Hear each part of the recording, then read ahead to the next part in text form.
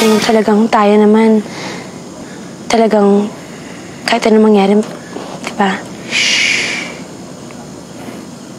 Dayan. I love you. Ang ambisyon, nagmumula sa inspirasyon. Alam mo kung anong inspirasyon ko? Ano? Si Nay Magda, si Warren, higit sa lahat, ikaw.